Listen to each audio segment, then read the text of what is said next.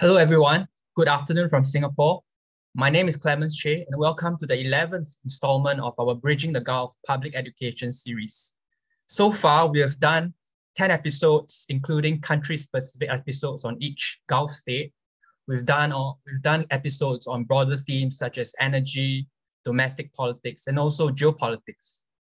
We've also done cultural segments like falconry and uh, ancient cities such as Nizwa in, in Oman. So today, I am very pleased to announce that we are having a webinar on politics and sport in the Gulf. And our guest speaker for today is none other than Professor Simon Chadwick. I will shortly introduce his profile, but I'd like to say that this comes with the buzz surrounding the Saudi takeover of Newcastle United FC.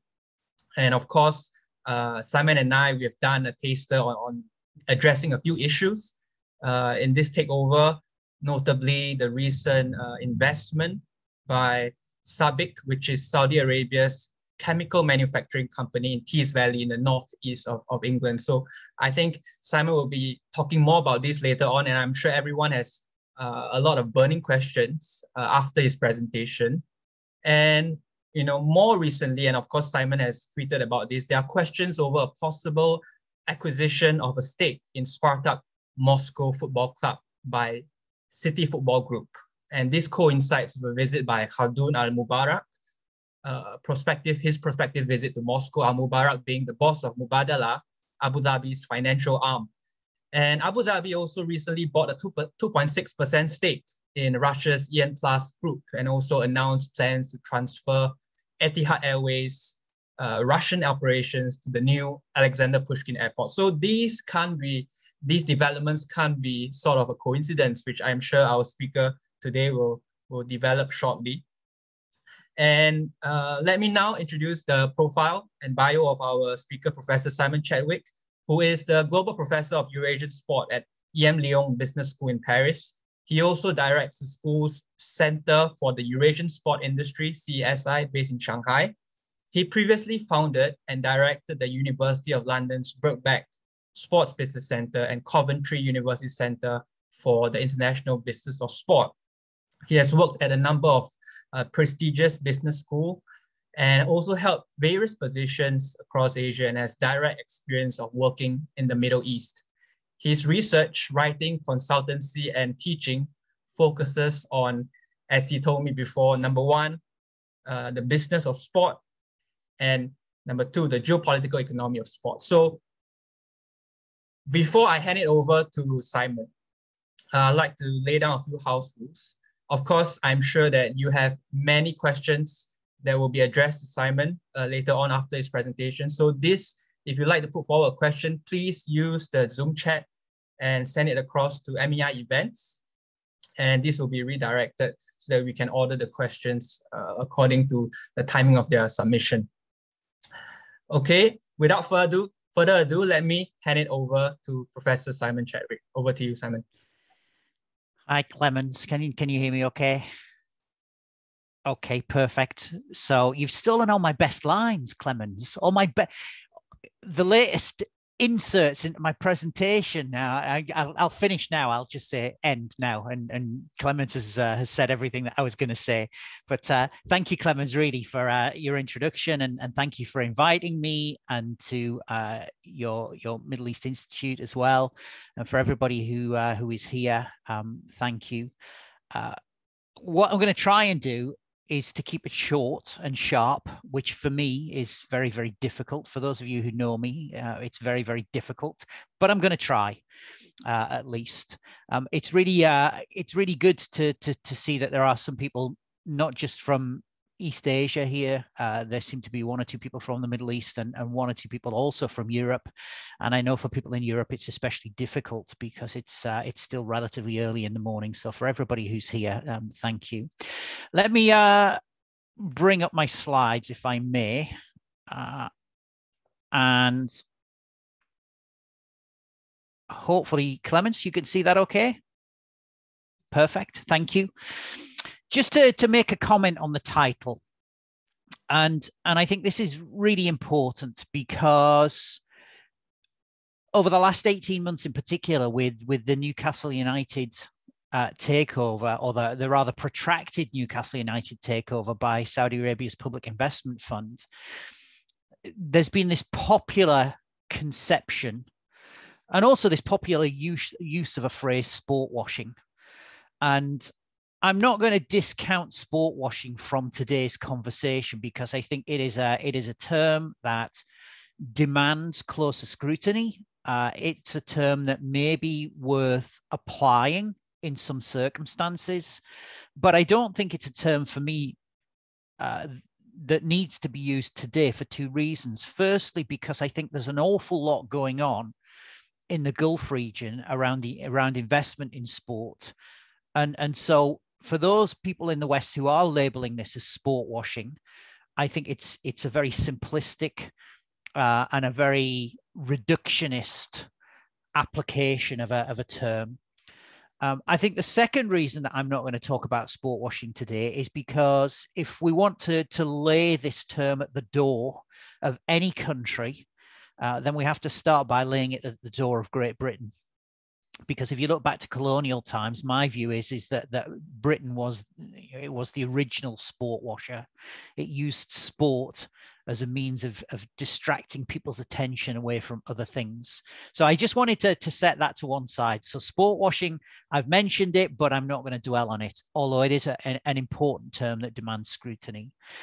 The second thing that I want to pick up on is, is this use of the, the phrase soft power. And, and um, it's really important to, to emphasize that I think there is an element of, of soft power in, in what is happening. But again, there is so much more and and so we'll let that title hang just there in front of us and and you can take it and think about it or reject it or you know it's it's just an entry point to to talking about other things now i think the other thing to say about me and and, and clemens has always already provided the introduction is is that i'm not a political scientist i'm not an international relations expert um, I'm not somebody with a long track record of, of writing about soft power. What I am is a business school academic. And I started my life teaching, well, I started my life teaching kind of business and economics. And then I drifted into much more about around, about, around marketing. And then I got into um, applying business economics marketing in a in a in a in a sport context. And i did that number one because i'm a sport fan.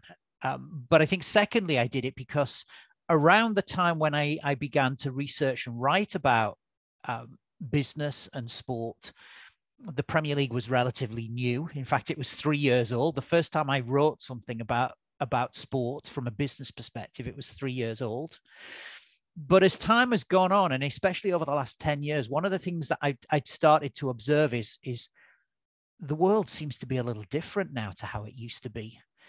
So, for instance, I, I, I, I observed this um, state owned airline, Emirates Airlines, which at the time, going back to 2006, 2007, when it first signed a deal with, with Arsenal, I, I thought, this is a little different to McDonald's, another sponsor, or to Coca Cola, another sponsor. You know, it's an airline, it's state owned. It's this this country, Dubai, which at the moment seems to consist of cranes uh, and very little else. And so, from that moment onwards, and, and certainly over the last 10 years, as I've said, I, I've started to shift my view of the world and to think about business and marketing and economics, uh, sponsorship. My doctoral study, my thesis was on sports sponsorship, and to view it through the lens much more of, of what's happening, not just in the Gulf region, but I think across across Asia more generally.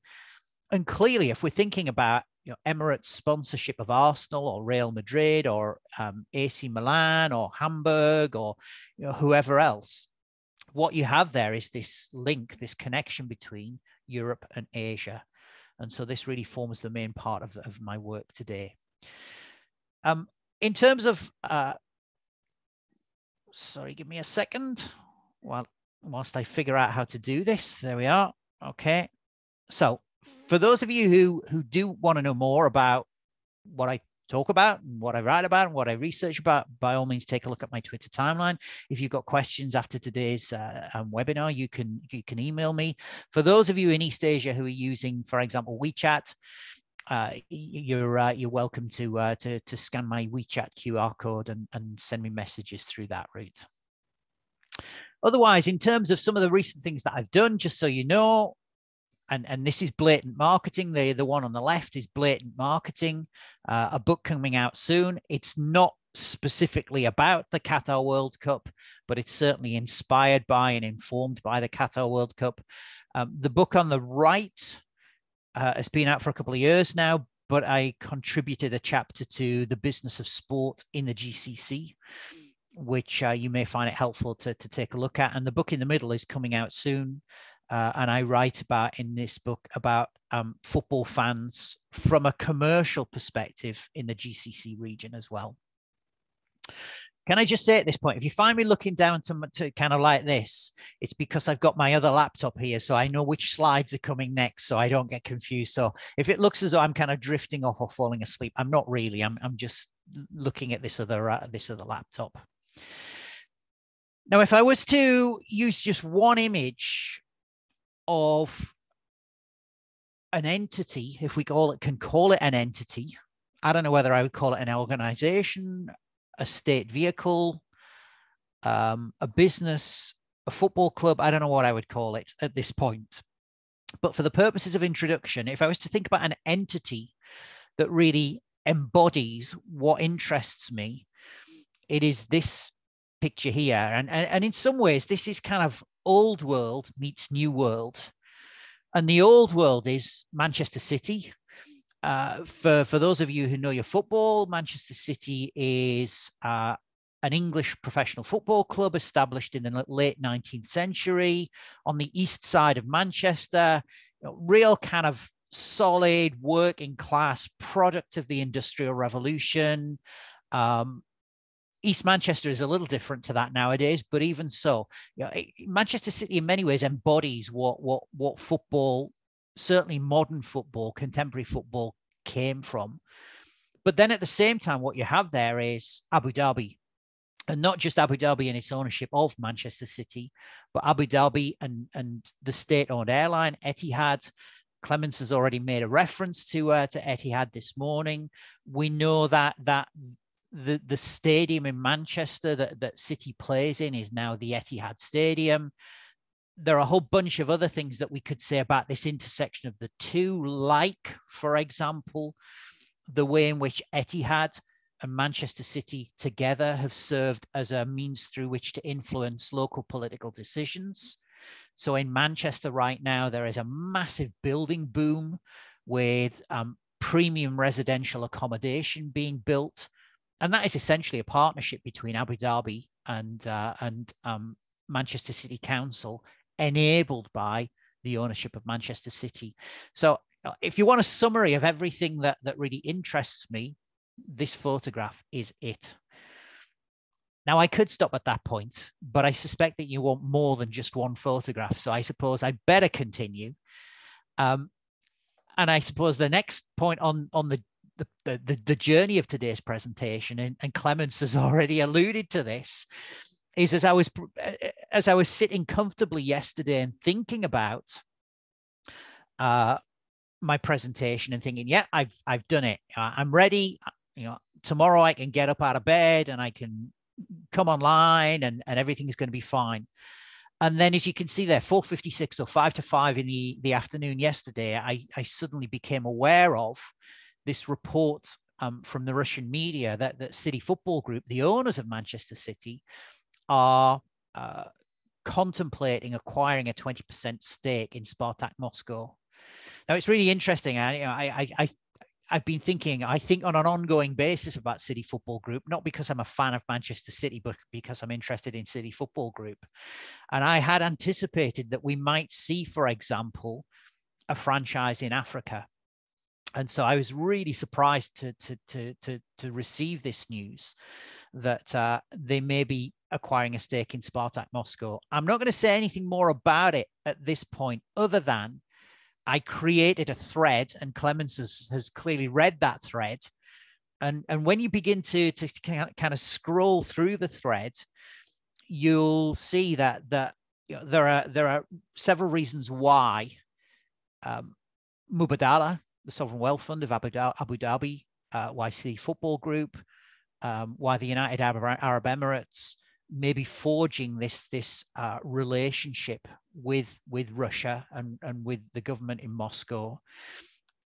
And I guess at this point, before I start the, the kind of substance, the real substance of my presentation, what I would invite you all to do is to, to, to, to kind of keep in mind that football is an enabler. It's amazing. I, I when I when I meet people and and I say, well, I, I write about football. That's immediately nothing else matters. You know, it's it's let's talk about favorite team. Let's talk about favorite game. Let's talk about favorite player. And so I think in terms of enabling business relationships, in terms of engaging in diplomacy, in terms of sealing business deals, football has an incredible power that arguably no other form of human human activity has. And so, for those of you who worry, uh, who, who worry or wonder about that, you know, what you might think is a tenuous relationship between Premier League football, for example, and gas exploration in the Arctic, you know, there, it's not a tenuous link. I think football is the means to an end, and that's an important detail. Football is the means to an end. It's not an end in itself ask a lot of Newcastle United fans, and they think Saudi Arabia is investing because Newcastle United is a fantastic team, and you know, the Premier League is the greatest league in the world, and they're going to win the Champions League. It's not. Saudi Arabia's public investment fund is invested in Newcastle United as a means to an end, not an end in itself. So already in the first 10 minutes or so, I've I've covered a lot of ground. Um, but what I want to try and do is is is to glue that all together. And one of the things that I've been trying to do over the last 10 years in understanding this is to glue this all together. So give me just a second because my other computer has just gone to sleep.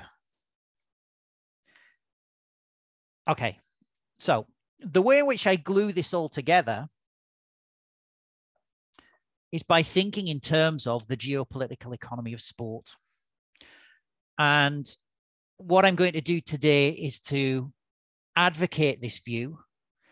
I'm hoping that a published paper on this will come very early next uh, next year, next calendar year, because for me, what I think we're seeing is is a very different kind of sport. You know, 19th century was very much dominated by Europe. I've talked about the Industrial Revolution, working class industrial areas in in in places like Manchester the 20th century for me was very much the US century in sport. And if we think about sponsorships and naming rights and TV deals, that was very much a product of US influence of, on sport in the 20th century.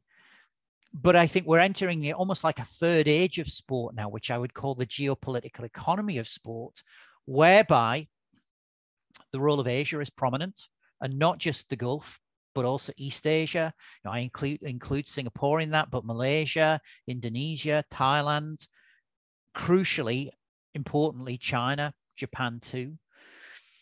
But I think it, what's important as well is is is that clearly, if we're thinking about if we are thinking about Qatar or Saudi Arabia or Abu Dhabi, you know, we're seeing state state influence, sovereign wealth fund investment, uh, connections to state owned airlines. If we think about Paris Saint Germain and Qatar, you've got Accor Hotels as the main shirt sponsor, in which the, Qatar Investment Authority has a, a, significant shareholding. For those of you who can, who can think about that PSG shirt on the tail at the back, you have Ooredoo, which is the state owned uh, telecoms provider. Uh, you'll see QNB, Qatar National Bank, state owned bank you'll know that PSG also has a, um, a, a relationship with the Qatar Tourism Council as well. And so uh, there's considerable state involvement. So essentially, what we have here is a very different kind of influence on global sport. And it's this notion, hopefully, of ge- the geopolitical economy of sport that really captures this. So let me just say um, say something about what the characteristics of the geopolitical economy of sport might be. And then what I will do is to apply that in the context of uh, a Gulf nation.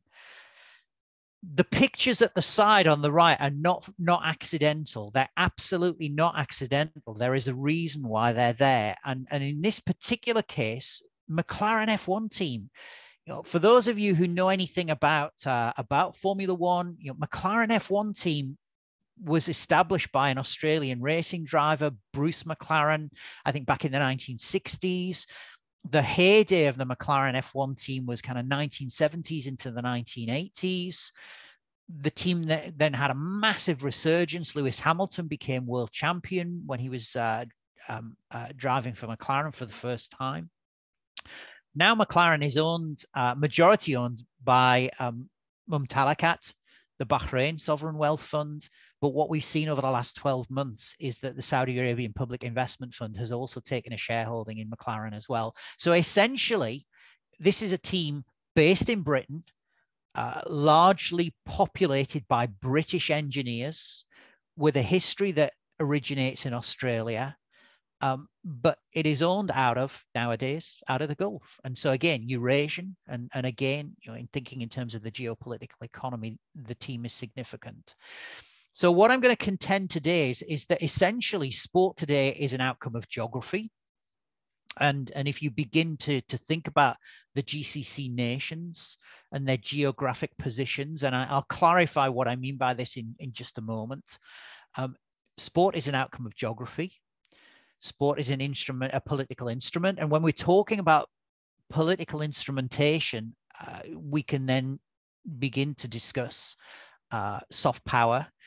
And if we think about you know, Qatar 2022, or we think about, for that matter, um, Beijing's staging of, of the 2008 Olympic Games and the 2022 Winter Olympic Games, you know, we can see this. If we think about Japan and, and the original intention of the Japanese government when it bid to host the uh, uh, the 2020 Olympic Games. There was a, a, soft power and a political dimension to this, but I think there's also an economic dimension too. Um, as part of Vision 2030 in Saudi Arabia, in in United Arab Emirates, in in Bahrain, uh, sport plays an important part in in in the vision of these countries for their economic development. Um, and if I could give you a further illustration of, of sport as a source of economic activity, South Korea is a great example. So South Korea has an esports strategy. Uh, and and what South South Korea as a country is trying to do is is to become the world's leading nation in terms of not just playing esports but develop developing hardware, developing software, becoming a center for event hosting, um, you know, creating tech startups around um, around the esport industry. So again, that gives a flavor of the economic activity and advantage. But I think the, the, the two other features that I mentioned there is I think sport is a means of deploying and acquiring resources. The example that I would give here is, is China's policy of stadium diplomacy in, in Africa. So essentially, the Chinese government for the last 15 years has, has gifted very often stadiums to African nations as a, as a, as a, a means through which to, uh, to secure access to natural resources. So I think sport is a way of deploying and acquiring uh, resources, and it's also a basis for securing strategic and competitive advantage. And that very much goes hand in hand with this notion of deploying and acquiring resources and I think this for, me, this is really, uh, really interesting because every time I think about sport, and I think about sport a lot, you know, probably, you know, on average, about 30 seconds of, of every minute of every day, I'm thinking about sport and, and what it all means. And, and nowadays, when I think about sport, I very often trace its, its origins, its current origins back to gas, to oil, uh, to precious metals, to minerals, to exploration for, for new sources of, of natural resources. Um, and, and for those of you who are sat there thinking, what on earth are you talking about, Simon? Are you mad? You know, it's a it's a game. You, you kick a ball. Uh, but I go back to the earlier point that I made. 11 people playing against another 11 people, kicking a ball is not just about sport. It's it's it's about something much more significant than that. Certainly today, and if you know the famous phrase of, of Liverpool manager Bill Shankly, he said, you know, it's it's it's even more important than than than life and death. You know, I think we are definitely in, in this territory right now. So let me let me distill this all down. So, you know, sport is about more than kicking. Uh, football is about more than kicking a ball. I think it's about geopolitical economy. I've told you what my what my view of geopolitical economy is. For me, geopolitical economy glues everything together. It brings everything together. In my mind, it gives me a, a much better sense and focus for, for, for what's happening in, in football right now. So let me illustrate it all using an example, the example of Qatar. And I am then going to kind of draw to a close, but I will briefly make a comment on Newcastle United and Saudi Arabia because I feel as though I have to, because I know Clemens is a, is a, an honorary Geordie. And if you don't know what a Geordie is, Google it. But Clemens is now an honorary Geordie, so I, I have to talk a little bit about Newcastle United. So what I always find it find interesting about Qatar, and I, and I use Qatar very often as a as a as part of my teaching, and I always say to students, find Qatar on a map for me. And and most students can't. So even now, they don't know where Qatar is. But what I do is I, I get them to bring up a map of Qatar and and and we then talk about, you know, what do you see? You know, what what do you see in in there? And you know, inevitably we talk about Saudi Arabia to the to the west, Iran to the east, to the north, uh, you have Iraq, and, and a little further uh, to the north again, you have Turkey. Um, strategically, Qatar occupies a very interesting position. Uh, it's relatively vulnerable in strategic terms. It nevertheless has considerable asset nat- or natural resource wealth. We know there are some um, issues that the, the country faces. So, for example, it shares a land border with Saudi Arabia. And, and if we look back across the history of, of, of the peninsula, you know, clearly there are very strong connections between Qatar and Saudi Arabia. We know that, that Qatar always also shares access to one of the world's largest underwater natural gas fields. Uh, the inconvenient truth for, for, for, for many nations is uh, Qatar shares that that gas field with Iran. Um, so whilst Qatar is quite vulnerable, it also puts Qatar in a very interesting position because it has leverage over countries like Iran that that certainly the United States and Saudi Arabia don't necessarily have. Now I'm drifting into in, into politics and international relations and diplomacy. I'm a business school guy who writes about sport, but crucially, and if I could just highlight an example for you, uh, three years ago, Qatar signed a deal with the Iranian Football Association to use Kish Island as a training base ahead of the 2022 World Cup. So, you know, you, you, you might think, well, football and the World Cup, you know, in terms of the relationship between Qatar and Iran, and, and you set that in a much broader geopolitical context, and there are a whole stream of issues come out of that. But I think the fact that we could see, I don't know, Brazil, or we could see uh, England or Japan or another nation using Iran's Kish Island as a training base and then flying in every, for every game to Doha to, to, to take part in next year's World Cup whether this happens remains a moot point, but I think it does raise some very, very interesting issues. And again, it it reinforces the point that football sits right at the very heart of a much broader geopolitical economy. And so again, you know, we, we do need to talk about the geopolitical economy of sport. So what do we know about uh, about Qatar? Well, we, we what do we know about the geography of Qatar? Well, we, we, we know something already about its position. Uh, we also know something about its natural resource endowment. And so, in terms of the physical geography of, of, of Qatar, we can begin to understand how it is that they might spend 200 million euros on, on Neymar. it's interesting. I speak to, to, to, to some fairly senior people in football on a regular basis. And, and somebody said to me at the time of the signing of Neymar, we just can't compete with this. We, we, we just can't do that because we're not owned by a, a gas and oil rich state. You know, we're, we're owned by a, an entrepreneur, and there's no way an entrepreneur from the West is going to spend 200 million euros on on on Neymar. So immediately we begin we can begin to see the connections between you know, natural resource endowments and, and even the signing of players. But we also know that there's something about the human geography of of, of Qatar. Um, if we take, for example, the population composition, so approximately 3 million people in Qatar, 10% of whom are Qataris.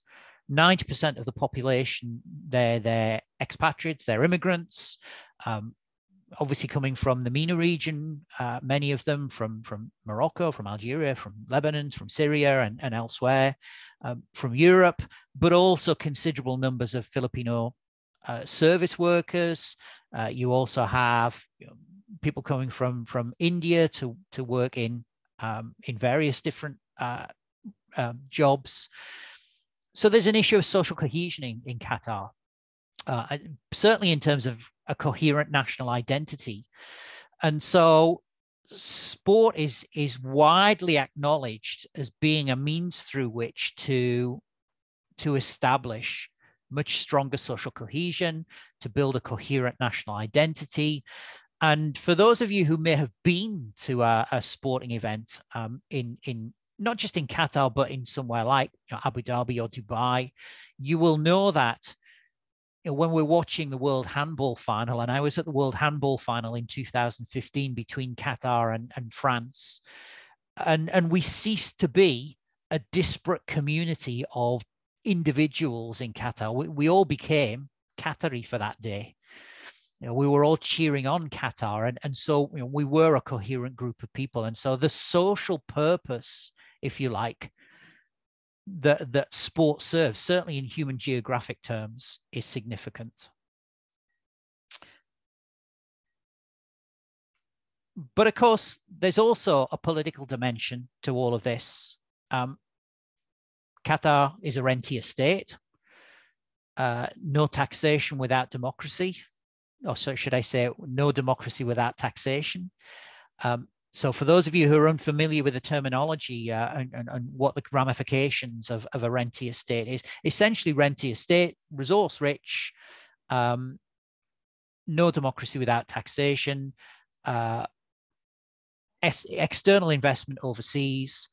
Um, I'll leave I'll leave the, the, the rest of the detail um, for, for people to, to pursue. But essentially, what what countries like Qatar and Saudi Arabia and others have to do is to to pursue um, rent generation, if we want to call it simplistically, revenue generation from overseas investments.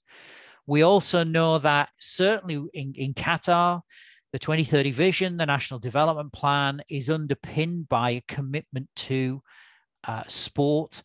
And that goes hand in hand with, for instance, human capital development, which is a key pillar of, of Qatar's national development strategy. And it, it, addresses, as, we've already said, issues like social cohesion, but it also addresses issues such as sedentary lifestyle. So one of the things that we know, not just about Qatar, but also about Saudi Arabia and, and, and some of the other GCC nations, it is very high rates of teenage diabetes. And it's not just teenagers. We, we see really some very concerning gender figures for participation and, and, and active lifestyles. And so I think governments in the region see sport as a means through which for, for uh, to promote um, uh, more physical activity, greater physical physical activity. Uh, some of you will know that there are only six countries in the world that have a national sports day, when basically the country shuts down and everybody plays sport. Um, Qatar is one of those countries. It has a national sports day, 18th of February, I think it is every year. But we also know that sport serves a role politically in terms of nation building, nation branding. And if if we go back to the map of Qatar, what it looks like, its its its history, it was a British protectorate until 1971. Uh, the develop the more recent development of its oil and gas industry, the development of, of Doha in particular, but obviously more generally nas- national infrastructure. So there are issues around nation building, nation branding. We've talked about soft power, uh, diplomacy, international relations too, and the and the purpose that its investments serve in terms of, you know, for instance, staging of the the, the World Cup, um, the ownership of Paris Saint Germain, the recent successful bid to um, stage a Formula One Grand Prix, all serve a purpose in terms of uh, the political agenda that exists within Qatar. And then there's the economics and, and and obviously this is this is my my own personal industrial heartland. It's it's what I know and, and what I understand most. Um, sport provides a basis for economic just uh, e- economic diver- diversification. We see this already with with Qatar and some of the examples we've we've mentioned so far. But I think it's also important to, to, to highlight, for example, the Aspetar Sport Injury Clinic. So, for those of you who know the Aspire Zone in, in Doha, the Aspetar Sport Injury Clinic is, is Qatar's attempt to position itself as one of the world's leading sport medicine hubs. You've also got the the the, the Doha Sport Tech Industrial Cluster, uh, what what the Qatari government is trying to do is to um, promote new business startups in the field of uh, sport tech development. And this really addresses the third point there that you that, that I make about you know, there, there are real concerns, as, as I'm sure some of you will know, about big state in the GCC, about the the inefficient approach to business that that big state intervention uh, leads to and some of the issues around bureaucracy. So, you know, this notion of tech startups and, and about being lean and entrepreneurial and fast moving and dynamic, there is something about not not just about economic diversification, but also about changing the culture of business, business enterprise, and and, and the development of, of, of startups. It's not just Qatar. You know, we, we're seeing this now in Saudi Arabia. You see it in Israel too. If, if for those of you who are, are familiar with the Israel Startup Nation cycling team, you know, this is uh, this is uh, uh, sponsored by an initiative in Israel to to, to pursue um, the same kind of uh, um, strategy. And I think the other thing too, we've we've already alluded to uh, some of the infrastructural developments in in um, in in in Qatar and, and in Doha specifically. Uh, you will, many of you will now know Qatar has a motorway network. It also has a metro network that metro network very conveniently can connects all of the World Cup stadiums. Obviously, the, the marketing sell, the big play is, hey, you're going to be able to watch three games in a day. Just jump on the metro and you'll be able to do this. But I think crucially, it again, it goes back to the earlier point: is if you want a metro network, just build a metro network. You know, why not just do that? what sport does and what football does in particular is is it is it focuses minds and it provides the impetus to enabling infrastructural development in a way that um, very often other industrial sectors don't. So what Qatar now has is it has a metro network that will exist long long after the World Cup has gone. But clearly the, the World Cup has played a very important role in, an, in enabling that infrastructural development to take place. So you have the geography, you have the politics, you have the economics, you have this geopolitical economy of sport. That's the glue that I've used and, and I'm going to continue using to bring all of this together. And so this leads us very nicely and conveniently um, to just a brief comment on Newcastle United. I see you know, very similar play by Saudi Arabia, the Public Investment Fund. Uh, we hear stories that that um, the Public Investment Fund may also be interested in acquiring Italy's Inter Milan. You know, this is very resonant of uh, um, what's happened at City Football Group. We we also hear stories that Saudi Arabia, Saudi Arabian funding perhaps from the Public Investment Fund, is behind FIFA's calls for, a, a, or Gianni Infantino's calls for a biennial um, World Cup. Uh, so I think it's safe to assume that we we will see more high profile football matches, and in fact, sporting events taking place more generally in, in Saudi Arabia. What Saudi Arabia, what does the public investment fund specifically see in, in Newcastle United? I'm, I'm going to mention two things. Um, I could spend the whole day talking about this, and but I know we can't. Um, you know, keep in mind that that uh, Nasser Al Khelaifi, the uh, the um, who runs the Qatar Sports Investments uh, and is also par- president of Paris Saint Germain. He now is the head of the European Clubs Association. Uh, you also have Abu, Abu Dhabi that through Manchester City and the City Football Group has 10 franchises across the world, possibly an 11th if Spartak Moscow uh, um, is acquired they, these two countries now have considerable influence on world football through their ownership of football clubs. Uh, Saudi Arabia didn't have that.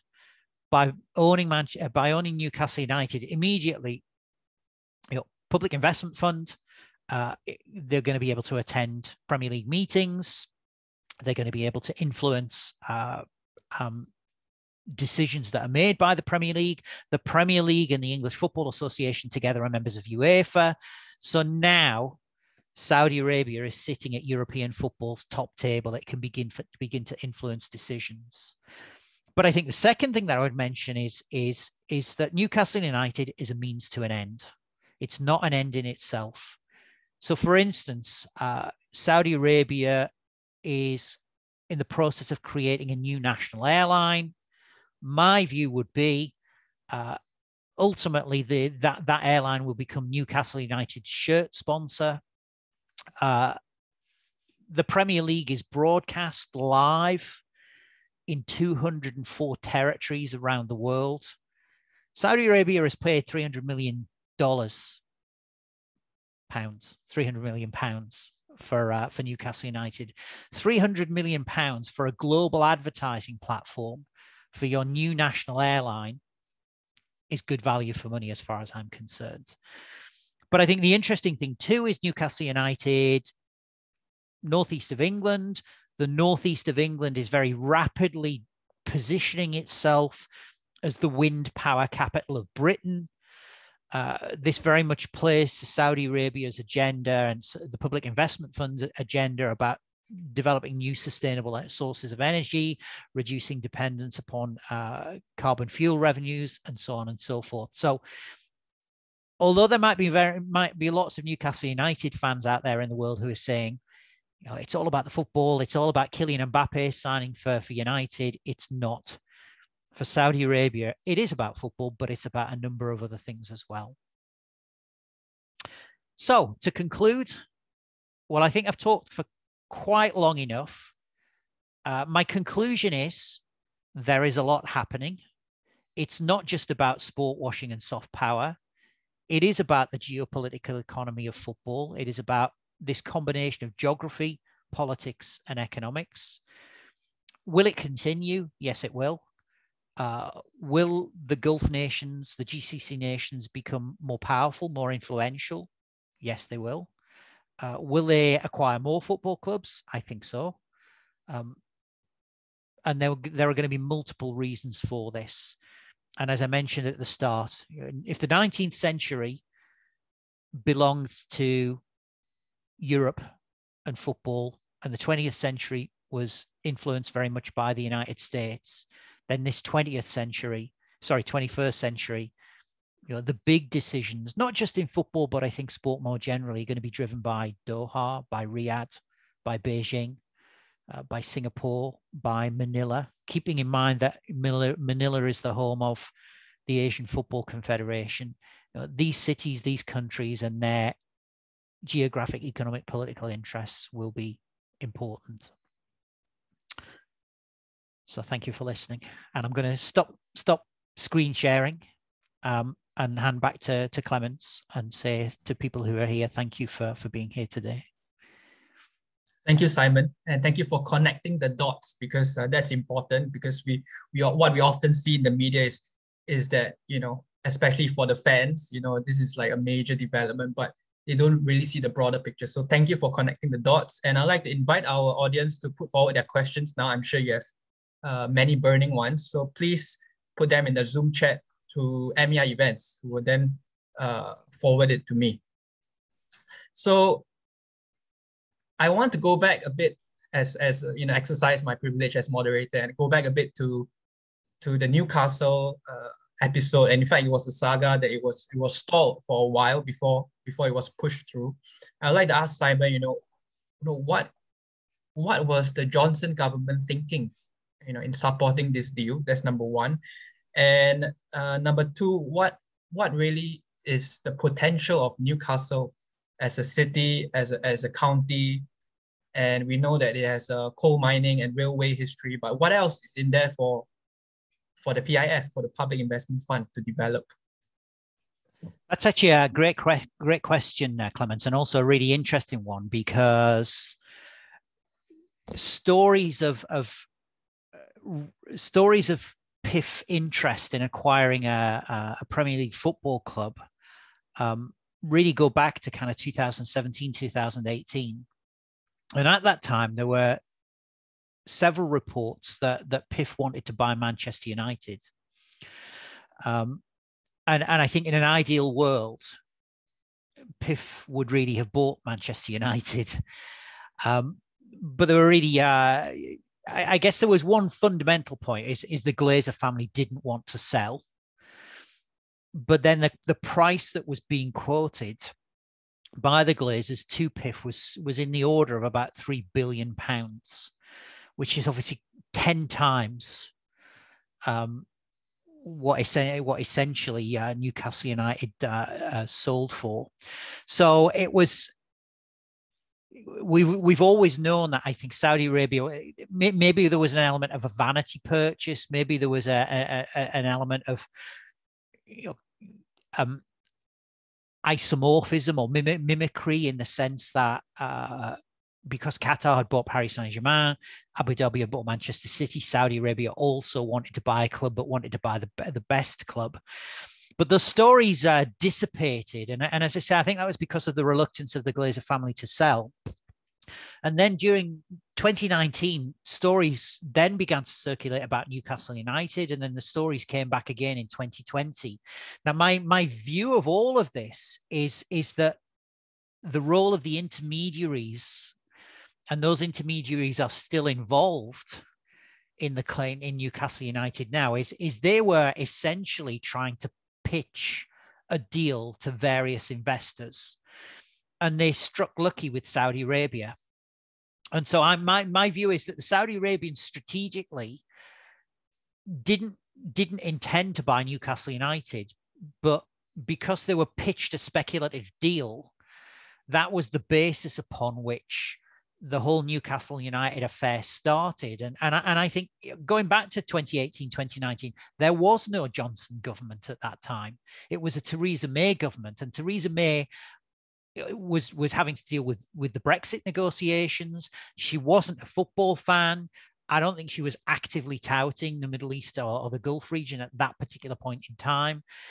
But what we saw really was the convergence of, you know, the speculative pitch Saudi Arabia and PIF you know, being open to uh, an acquisition, Brexit happening, the Johnson government getting elected, the ramifications of his election, and, and I think you know the the, plat- the platform upon which Johnson was was elected was um, seeing Brexit through, and that had consequences in terms of the economic impact and, and the political relationships of, of the country.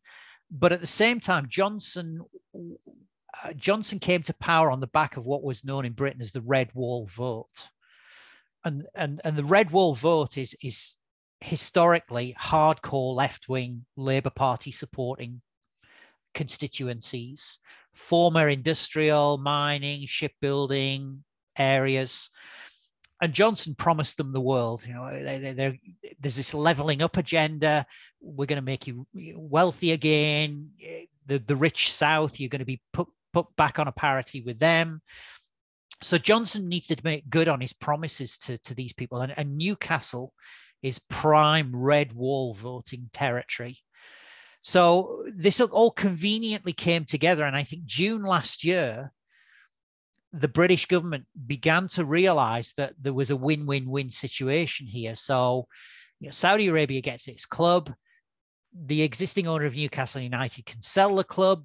The speculative pictures of the of the deal they get their part but the johnson government also gets its part in all of this as well so in other words saudi arabian inward investment into not just the premier league but the northeast that plays to the red wall voting agenda um, it also enables the relationship with saudi arabia and as we know the Johnson government is now actively touting inward investment from Saudi Arabia. And, and that's not just you know, in terms of the arms industry. As you mentioned, right at the very top of the, the, the webinar, um, Clemens, we've since seen investment into, into the chemicals industry uh, from Saudi Arabia in, in, in the northeast, close to Newcastle, in this red wall voting area.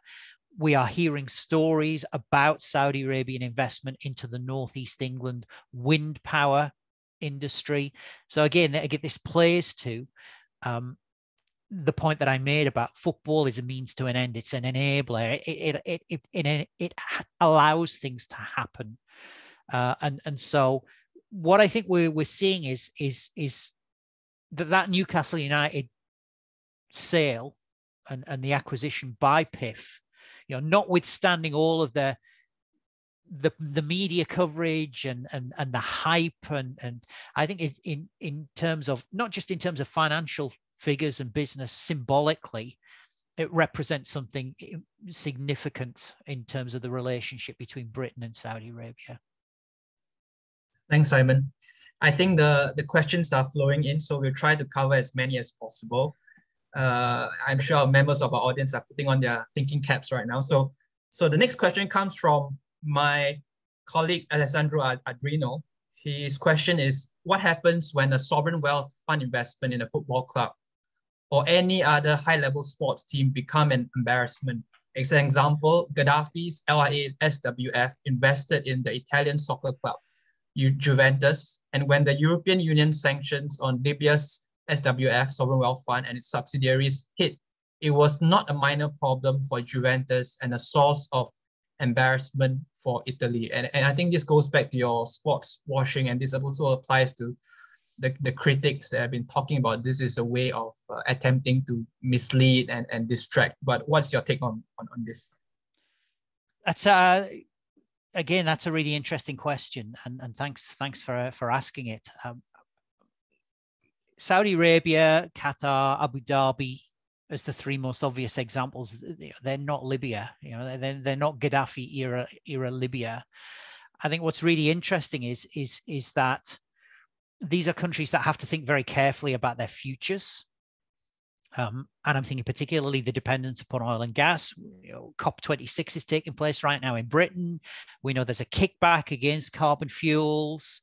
Uh, there, there needs to be very serious consideration about economic diversification, uh, the long-term future of these countries. Also, obviously, utilizing the existing wealth and in, investing it in, in appropriate ways to, to sustain these countries throughout the 21st century.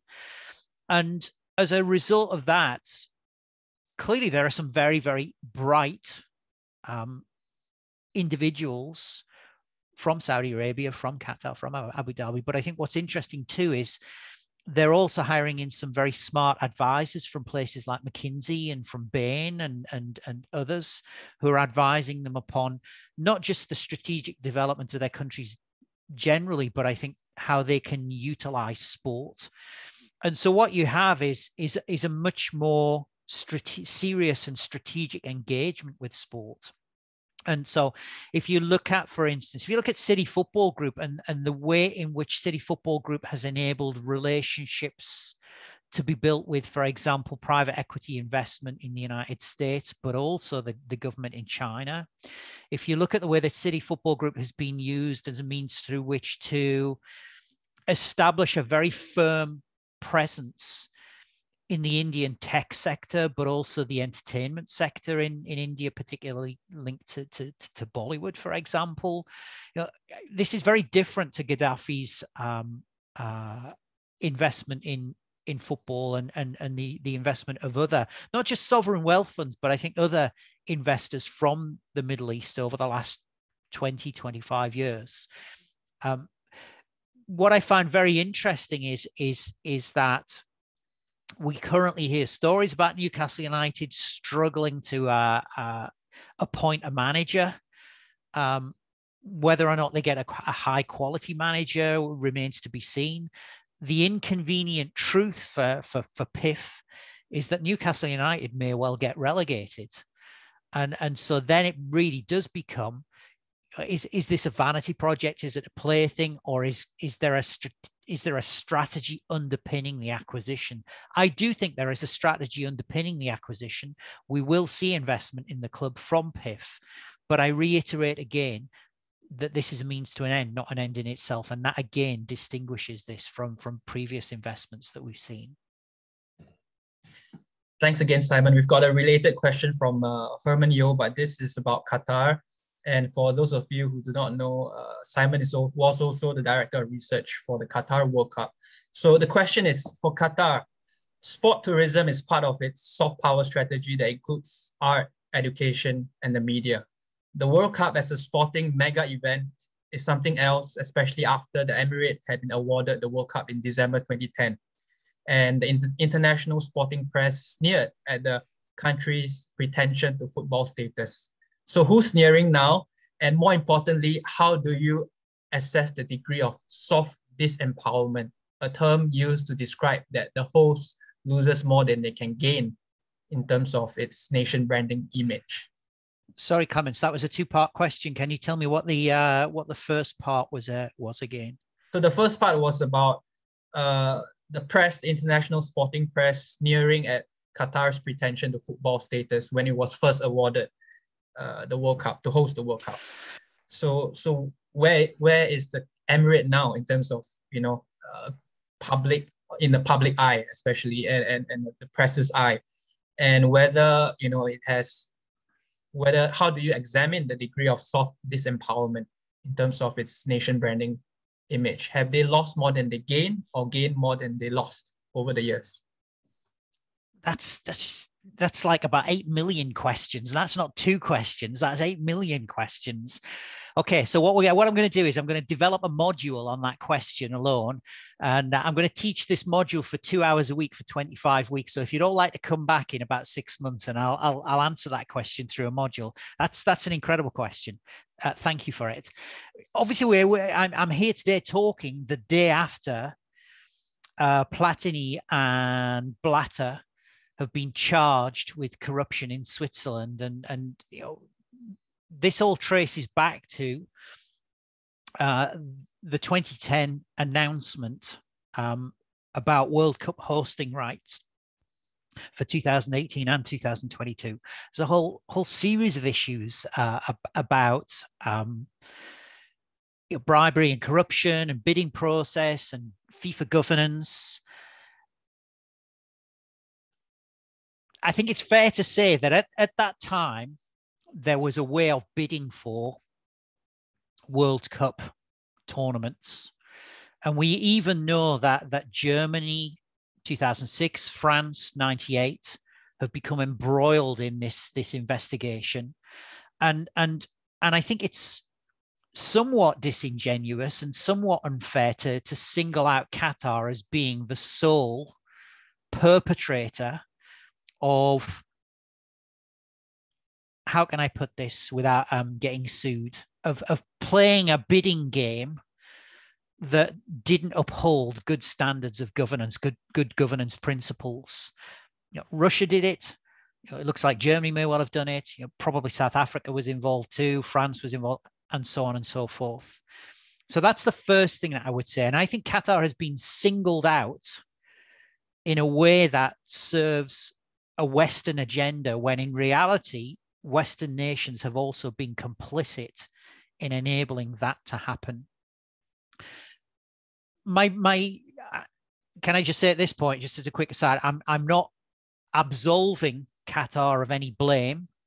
if Qatar has been engaged in wrongdoing, then that should be highlighted and uh, and and if sanctions need to be taken in some form, then that should apply for Qatar for everybody else who is is guilty of of wrongdoing. Um, if we then look at you know, what if if we believe that sport is a is a force for good. And many people across the world will talk about sport as a force for good. You know it can address societal issues it can address cultural issues it can address political problems. Then we we have to understand and accept what not just what Qatar has done, but also what Saudi Arabia is now trying to do. And, and Saudi Arabia very often makes bold claims about effecting social change through sport. And that is something that everybody around the world say sport can be a force for good. But I think what that then does is it raises a whole series of issues. What changes is sport going to bring about? Um, how do we know those changes have taken place? Know, have you actually made good on the promises that that that, that you initially asserted? And so that then does then begin to get into you know how how sport is governed and transparency and openness and reporting. And this notion of reporting i think is a really really interesting one because we have no common global standard for reporting the impacts of sport. Um, and and so for countries that are claiming that you know there, there is a soft power effect linked to sport. Um, where can we see this? How do we measure it? And, and and you're then into if there is a soft power effect or there's a soft disempowerment effect you know how do we measure that? How do we prove it? You know, what tools are we going to use? Because i'm not exactly clear on how we do that. Are people are people thinking more negatively now about qatar than they used to. Well, I would go say go back to November 2010, be, you know, a month before the World Cup bid announcement was made. Most people never heard of Qatar. Most people didn't know anything about Qatar. Most people could not attribute any any values or any qualities or or uh, a particular reputation to Qatar. And so I think Qatar now, and, and if you look at, you know, it, it always amazes me when I walk around in British cities how many people are wearing Paris Saint Germain tops and how many people know that Paris Saint Germain is owned by Qatar. And they're not talking about you know soft disempowerment. They're not talking about sport washing. They're talking about Messi. They're talking about Neymar. They're talking about the, the, the Parc des Princes. They're talking about the Champions League. And, and so whilst I acknowledge that there has been some soft disempowerment, there has also been a soft power effect too one thing that I would say from my time working in Qatar is is has uh, has sport effective effected this positive change um, that that many people talk about? I would say yes, it has. Has it been? Has it gone far enough? No, it hasn't. Has it gone fast enough? No, it hasn't. Are there still issues? Yes, there are. Are some of these issues serious? Yes, I think they are. But you know, you could look at any country. You could look at Saudi Arabia and say the same thing. You could look at Singapore and say the same thing. You could look at Britain and say the same thing. Because one of the effects of the 2012 hosting of the Olympic Games in London was supposed to be suddenly Britain would become healthier and more active and play sport more regularly it's actually had the opposite effect. In Britain, participation in sport has fallen dramatically since 2012. You know, that's soft disempowerment. You know, there was supposed to be a soft power effect. There wasn't. There's been soft disempowerment. So I hope that one of the lessons or one of the conclusions you'll take about me today uh, from from from the webinar is you know, this kind of labeling and terminology that we selectively apply to countries like Qatar or Saudi Arabia or Abu Dhabi, my view is that we also need to be careful in applying them to other countries as well. We, we need to apply them to other countries and we need to understand what's happening in the Gulf region within that context, but also within a wider context as well. Thanks, Simon. We've got another interesting question uh, by Tracy Lim uh, on, you know the, the relationship between health and sport. And, and here she says esports has become part of Saudi Arabia's branding, and they've got two personalities winning eFootball tournaments recently. So, but the development of successful elite professional athletes is as much an indication of public health infrastructure, meaning how healthy society is, as much as it is about winning medals. In this regard, how is Saudi Arabia and the Gulf states doing in developing their own professional athletes? Again, that's a really, really great question, and again, it probably requires a much longer answer than uh, than I can give right now. Um, I mean, I I think the, Saudi Arabia needs to do more right now because what the world doesn't know is that the country actually has some fantastic esports players. So I think the world, the world female university esports champion is a Saudi Arabian woman. Um, and, and, and she's got a long track record of, of being the best esports player in the world. And, and yet the world doesn't know about this. And, and one of the things I mentioned in my slide, I talked about climate and, and how climate interacts with um, sport in, in, in the Gulf region. And you know, in very simplistic terms, for quite a long time each year, quite a long period each year, it's actually very hot to engage in physical activity outside. And so, in, inevitably, esports becomes not just a popular pastime, but potentially becomes a, a, source of international competitive advantage for a country like Saudi Arabia. You know, you play indoors in air-conditioned venues, you can develop expertise, develop competence in a way that perhaps you can't do with outdoor sports when the period during which you can play those sports is is, is truncated. So that's one thing that I would say. I think more specifically to to to, to what Tracy has said there are some very interesting issues, and and and I, I'm going to try and be short and sharp. I find it difficult to answer in a really kind of succinct way. Um, if we take Qatar as an example, Qatar has done seems to be developing well on into uh, really on the basis of two two approaches. So the first one, and and, and this is has been contentious, is, is player harvesting, athlete harvesting. So um, some of you may be familiar with uh, uh, um, Qatar's leading centre forward, the Qatar national team's leading centre forward, Ali Almoez, uh, who is who was born born and brought up initially in, in Sudan, but he's now a naturalized Qatari citizen. Um, and so Qatar, to a certain extent, I think in the early years, going back to the 2000s, was initially depending upon player harvesting from or athlete harvesting from Africa. Uh, this kind of naturalization again I mean, this is not a criticism of qatar because if you look at what china is doing with its national team right now it's naturalizing um, um, football players if you look at british french spanish portuguese colonial history and what that has meant in terms of their athlete development and their athlete harvesting. The same thing is happening there. So I think certainly in Qatar, we've seen harvesting, but more recently in, in Qatar, what we've seen is the creation through the, the, um, uh, through the Aspire Academy is the targeting of talented young individuals who then are trained, developed to become elite professional athletes. And we look at the Qatar national football team, which now is performing very, very well. Uh, there's the Qatari high jumper who uh, won the gold medal in in Tokyo um, this summer.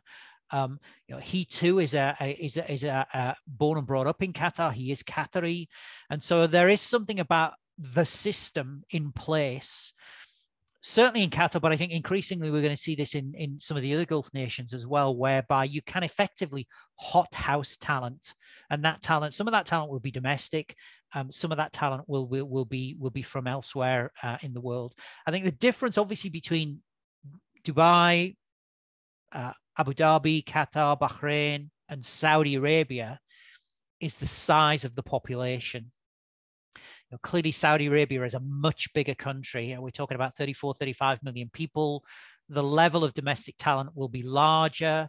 Um, the opportunities to hothouse and develop that domestic talent through a, through a, a domestic system will be greater. And I think crucially as well, just to, to, to kind of emphasize about Saudi Arabia, there's historically much stronger engagement with sport, I think, than than um, than there has been in other Gulf states. I'm thinking about football, for example. Some of you will know those top Saudi Arabian football clubs. They're they're drawing average attendances each weekend of 40,000, 50,000 people. So I think there is a sport culture in Saudi Arabia, stronger sport culture in Saudi Arabia uh, that will enable opportunities in a way that you know, perhaps has taken longer in, in, in nations like Qatar and Abu Dhabi. Thanks, Simon. And I know you, you've been writing a lot about fan engagement in the GCC as well. So hopefully uh, we'll get to read that once it's officially out. Um, let's use the remaining five minutes to, to get through uh, two more questions. One, I'll try, to, I'll try to answer them quite quickly yeah, if I can. yes. So, so the, the first one being uh, Liverpool FC manager Jurgen Klopp recently said three teams are owned by countries. While he did say that it doesn't mean they will be instant winners, you know, what does it mean for the competitive landscape of football? And is football a market where the priority has been fixing financial problems instead of sporting criteria? my in some ways i prefer not to think in terms so i a lot of what i've talked about this morning has involved me talking about countries but it is almost as I, I prefer not to talk about countries and instead prefer to talk about ideologies. Because if we take liverpool as an example liverpool is owned by uh, a us um, sports entrepreneur. And that US that, that that US sports entrepreneur, he he he and his family are a product of a liberal, um, commercially oriented capitalist system. And you know, if you take the debate back to the 19th century, football clubs weren't owned by capitalists. Football clubs were owned by you know local people. They were they were very often owned by you know, sometimes by workers, sometimes by local business owners. They weren't owned by North American capitalists. So I, I think for Klopp to say that is is somewhat misleading and disingenuous because late late 20th century and early 21st century European football was increasingly dominated by an idea by a Western ideology that emphasized free enterprise, profit, commercial return we're now living in a in, in a period where that liberal ideology is is being threatened. It's it's being threatened by an idea, a rival ideology in which state intervention, government policy, and and and different kind of sociocultural norms and behaviors characterize investments. And and that doesn't mean that it's any better than or any worse than what has gone before. But but I think you know, what Klopp seems to be confusing is is that somehow you know, kind of capitalist football is somehow better than than you know a, a, more kind of interventionist type football. You know, I don't think we can necessarily say that. If you go, I, have been doing this for a long time. If you go back to the 1990s, early 2000s, certainly when the Glazers took over Manchester United, there was people were horrified. Fans were horrified that investors could possibly run a football club for profit. And yet now here we are, and, and people just accept, you know, football clubs are profitable. The Henry family owns Liverpool. Um, the Glazer family owns Manchester United. They're going to focus on revenue generation. They're going to look at controlling their costs. You know, that's that's acceptable. That's perfectly normal. But then when Saudi Arabia comes along, or when Qatar comes along, or where Abu Dhabi comes along and says, "Well, actually, we're going to run run a club in a different way," suddenly that's a terrible, terrible thing. I think. You know that in 10 years' time, or maybe in 20 years' time, we'll look back and, and many people will will better understand what has happened over the last 50 years of football, and that is that we've we've just had different ideologies, not different countries, but different ideologies exerting an influence on European football. As regards performance, um, that's a big one. Uh, I think from a fan perspective, fans only care about their teams winning. Uh, when teams win, fans stop asking questions whether it's about profit or sport washing, you know, fans stop asking questions when teams win. I think I'll try to I'll try to shut up in a second.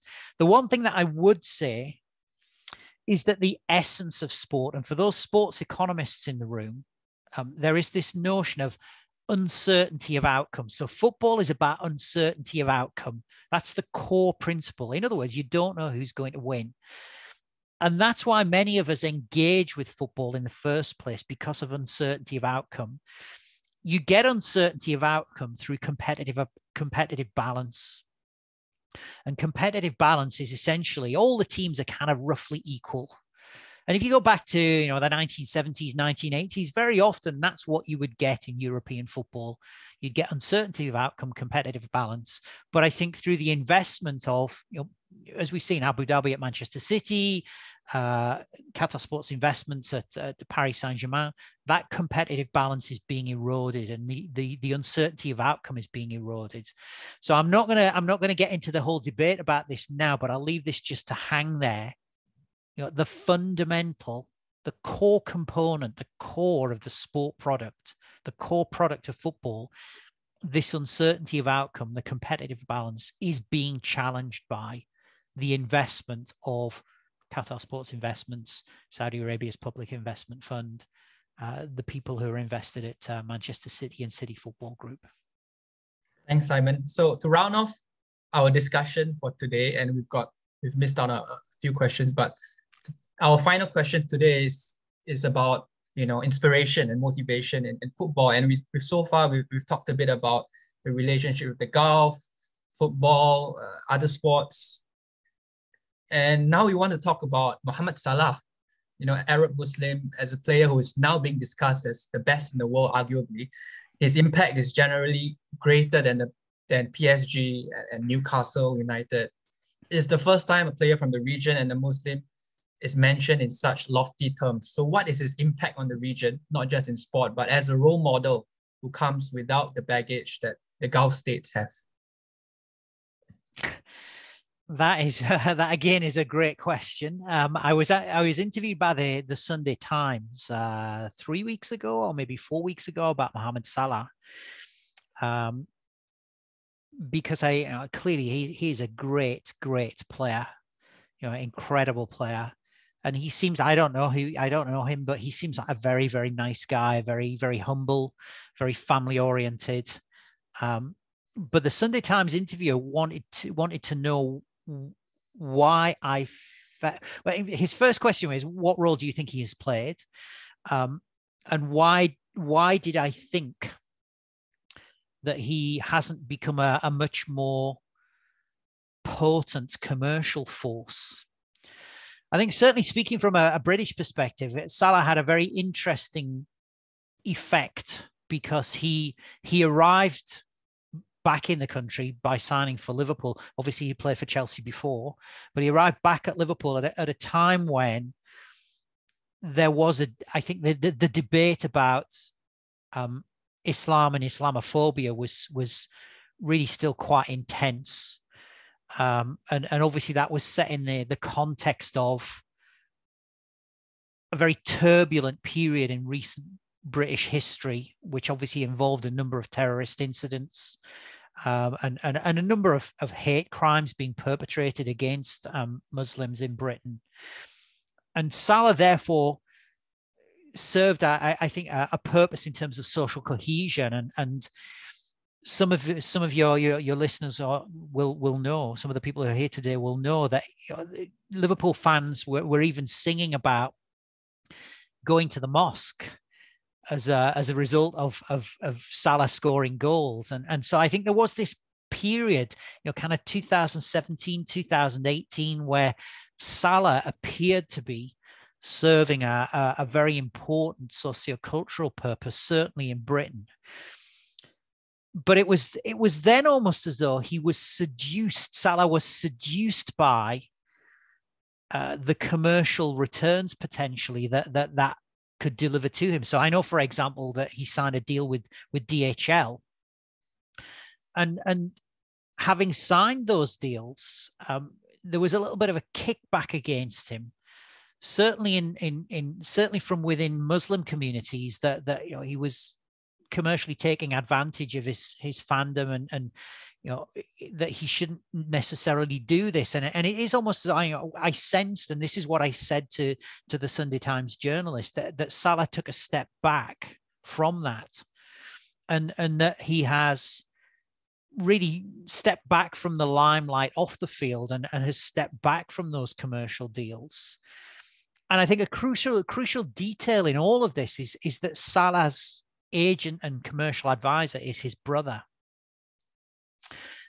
If Salah had signed for, for example, Roc Nation, you know, eh, which which is Jay Z's sports agency, and and Lewis Hamilton, for example, is a is a client of Roc Nation. And if we look at Lewis Hamilton, you know, Lewis Hamilton has now got an opinion about everything, and is is you know is involved in all manner of campaigns and commercial deals, and and that is very much a reflection of of his relationship with Roc Nation. So Roc Nation will be strategically advising Hamilton about the things he should and shouldn't be doing. You know, Salah didn't sign for Roc Nation he stayed with his brother advising him. And, and so what we have is somebody who is very modest, very humble, uh, somebody who I think is still talismanic, but certainly commercially, but I think also socioculturally too, in terms of the role that he could potentially play in, in, in countries like Britain. You know, Salah hasn't become what potentially we thought he might become when when when he was back here in, in kind of 2017 2018 thanks simon. So we've run out of time. In fact we've overrun and we're quite ambitious to have it uh, to an hour. And, and i think the number of questions that we received probably says that we should have been an hour and a half. But if you'd like to put forward your questions still please email or, or contact professor simon chadwick on, on twitter or by email and I'd like to thank Simon once again for addressing. Can, can, can I just say? Can I just say, Clemens? Can yes, I just please, say, Simon? Know, the point that, as I said, the point of my presentation is football enables things, and and the, the, the webinar is a prime example of it because as soon as you start to talk about football, you're talking about Mo Salah, you're talking about oil and gas, you're talking about um, you know health and active lifestyles you're talking about success and so you know that that in essence the reason that we've gone on for so long validates the core premise of the the webinar in the first place is which which is that football enables things to happen. Thank you simon once again. So once again thank you to mei events for making this operational. And to our audience thank you for making this lively because we've got really really really great questions coming in and tough ones as well. And, and I think, Simon, you've, you've managed to address them as succinctly as possible. And if you've got any further burning questions, please contact uh, Simon directly by email or on Twitter. So thank you once again. Uh, if you're joining us in Singapore, then have a good public holiday tomorrow. Uh, to Sorry, rest, it's public holiday tomorrow. Does this mean I could take a day, take a day off work tomorrow? Well, I don't think it is in the in the UK, isn't it? Yeah, yeah. Well, uh, neither in France nor the UK, I, there's no public holiday, so never mind. All right. Thanks again. We'll, Thank we'll speak you. soon, Simon. Yep. Thank you. Bye. Bye.